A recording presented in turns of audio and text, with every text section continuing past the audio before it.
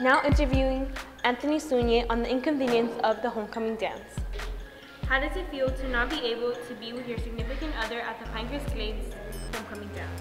Um, I think it's unfair that she can't go because she goes to another school, and I don't like it at all.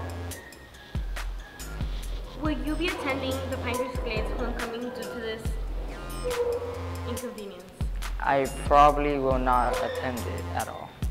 If you were to come to the dance, who would you go with? I would go with my, my friends, my boys. Thank you. Thank you for watching Dragons News. Dragons out.